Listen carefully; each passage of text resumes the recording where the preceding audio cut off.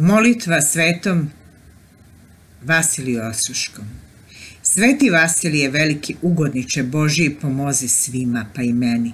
Veliki branitelju vere pravoslavne, odbrani nas koji tvoju svetu veru držimo i s nadom tebi pristupamo. Veliki arhijereju Božiji, pomoli se Bogu, svedržitelju za sve ljude tvoje, pa na posledku i za mene nedostojnog i posljednjeg. Tvrdoški viteže i osroški podvižniče, spasavaj nas od beda vidljivih i nevidljivih.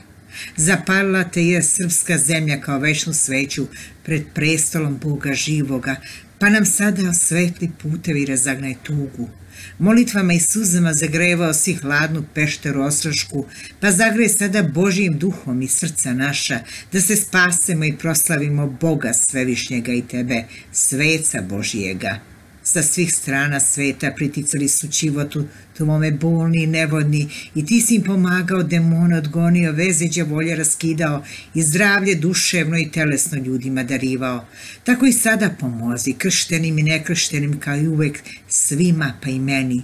Izmiritelj si bio zavađene braće, izmiri i sada sve zavađene, zbrati mi razbraćene, ove seli tužne, ukroti samovoljne i seli bolne, Sveti Vasilije, čudotvorči i oče naš duhovni, čuj i usliši čeda tvoja duhovna u Hristu Isusu gospodu našem. Amin.